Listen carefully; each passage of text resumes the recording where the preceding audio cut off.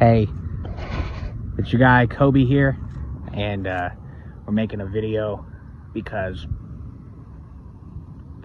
Ohio just decided to legalize the sweet Mary Jane, some of that sticky icky.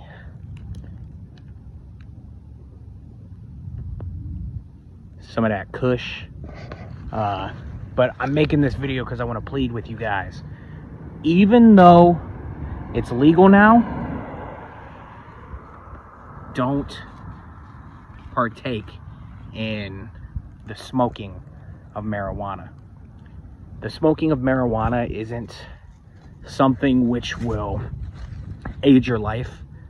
Uh, if anything, it'll hinder it. If you're in a creative position, you might be able to get away with smoking, but more often than not, what happens is people will get complacent and people will get comfortable in the situation they're in. And that's not good. The other thing that'll happen is you'll find yourself saying, okay, I will write this song or make this beat after I smoke a blunt. I don't smoke weed, and that's not just me, you know, playing a character. I, I don't smoke weed, and that's because I would get lazy. I would get to the point where I would stop bringing you guys the content you love.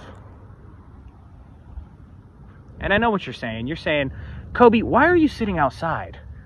Well, it's because I'm on the side of a road and I'm going to be throwing Three Musketeers at cars that go by.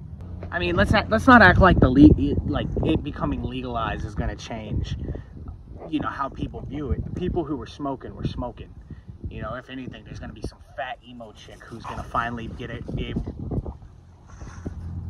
who's going to finally be able to get marijuana because she didn't know who to ask. You know, good for her, but uh.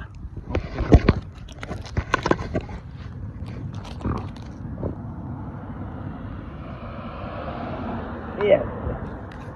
I missed. but yeah, just just be smart, guys. Be smart about what you're doing. Ain't that right, buddy?